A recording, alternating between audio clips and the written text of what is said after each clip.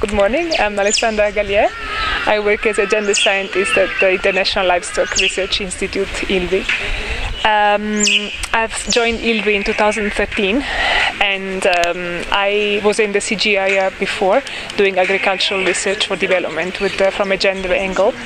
Um, and since I joined ILRI, um, I've been um, undertaking both strategic research on gender, which means research that really focuses um, on gender, such as issues of empowerment and so on but we've been also doing much work on integrating gender uh, in the work of other scientists, including, for example, geneticists, uh, forage scientists, or animal health scientists. Um, since the, it, is a number of years now, I would say, that the CGIAR has been pushing uh, for gender to be more and more integrated in, uh, in the research that um, they are doing, uh, that we are doing. And um, this is for two main reasons, I would argue. One is that uh, the recognition that integrating gender in uh, agricultural research for development uh, produces more effective technologies and uh, better science, and also the recognition that uh, this contributes to gender equity, and the fact that we are uh, addressing the um, small scale most marginal farmers uh, means in a way that we have to look and support both women and men uh, within these groups. Um, the support for and the push for gender research has had uh, mm, many um, includes many aspects. Um, so there has been a push uh, from the donors and the CGIAR altogether to integrate gender in proposal writing and in the research that we do, and to make sure we have an impact that uh, supports both women and men livestock farmers in the case of ILRI. Um, there has been also uh, specific institutional mechanisms to support the integration of gender in research. Uh, for example, there has been a strong push also to dedicate a percentage of the budget to gender research. Um, I think we have seen um, big progress. there's been there's much more awareness about the need to uh, integrate gender, and of course, once there is the push from the donors and uh, also from the top levels to have gender in the proposals that we write and uh, in the in the outputs that we write, um, there is an increased awareness that we need to do this. Uh, some people feel pushed, some people uh, embrace the issue.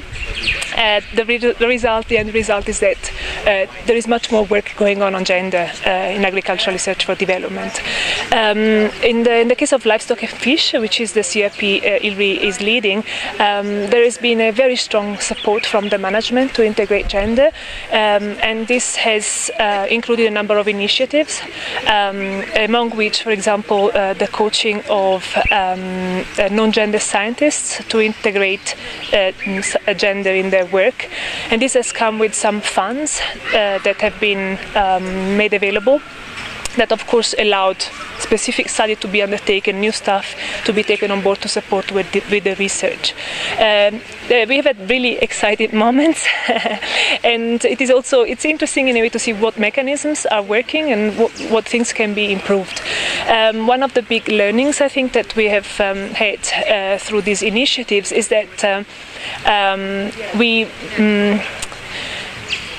as I said, there's more and more awareness about the fact that we need to have gender. There is still some misconception about the fact that um, doing gender uh, analysis or gender research means having women included in whatever we are doing. Um, and in that sense, gender analysis is seen more like a, an activist kind of activity. So we still have to bring forward the argument that more strongly that gender analysis is about social analysis, about understanding gender relations and how they can affect technology needs and also the impact of what we are doing. Um, we still have to um, push forward the article that gender analysis is actually science, is not just activism, and uh, that also, uh, in a way, has implications for the way we collaborate with other scientists.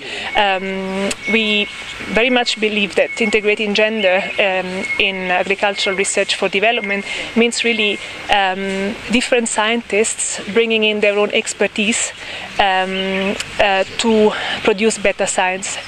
Um, so through these um, experiences in integrating gender in various um, non-gender uh, specific topics such as breeding, genetics, animal health, feeds and forages. Um, we have in a way created a situation where uh, everybody is enriched. So as gender scientists, we know much more about um, feeding and forages, and the same way uh, forage specialists know much more about um, gender and social scientists, sciences, sorry, that they knew before. Um, we still have to, in a way, discuss better the boundaries. There is a perception that, uh, um, you know, we, we, we talk about Frankensteins. we are not sure what we have created in a way. We all feel enriched by the experience. But then again, uh, I've worked a lot, I've just undertaken a study on, um, on the Ololili system, which is a, a forage system in Tanzania used by the Maasai. And we were looking very much at how to the studies that have been done until now have been um, gender blind, and now we are trying to integrate gender in this study of um, a, a, traditional Maasai system for forage because there is a lot of potential in the system to support the uh, forage shortages. That is a major issue in dairy development in the dry areas of Tanzania. And we have uh, understood that there is a, a, strong gender component in the management of the Ololili system, and uh, that for this reason, um, um, interventions that um, uh, want to work with the Ololili and, for example, introduce new um, wild grasses as forages need to make sure that they have a gender approach so that we understand the preferences for crops and varieties of both women and men. We understand the roles and responsibility in the livestock management and so on. And the study just revealed that there are strong implications in terms of food security and also in terms of uh, livelihood strategies. Some families where this traditional Maasai system of the Ololili is not working are going back to uh, more nomadic ways of life. Uh, and um, bringing a gender perspective into the Ololili uh, has revealed how women and men have different gender roles, how they are facing different constraints and they are also accessing different opportunities affected by gender relations. Um, and this, I think, will help us address much more um, um, any strategies or intervention that is trying to improve uh, the feeds and forage management, the management of the livestock overall, as we said, with an impact on food security and livelihood strategies. So, but the result now, the question now is okay. So uh, now that we have, you know, uh, um, undertaken this collaborative research, um, so I know much more about feeds and forages in Tanzania, uh, but I, I, don't feel I can call myself a, a forage scientist. Um, and at the same time, I think that the scientists, the forage scientists that have been working with us, have been enriched to understand how social sciences and gender analysis can be integrated in forage uh, analysis and forage scientists, sciences. But you know, it is very unlikely that they themselves can call they can call themselves um, uh, gender scientists. And the implications, I think, are uh, two.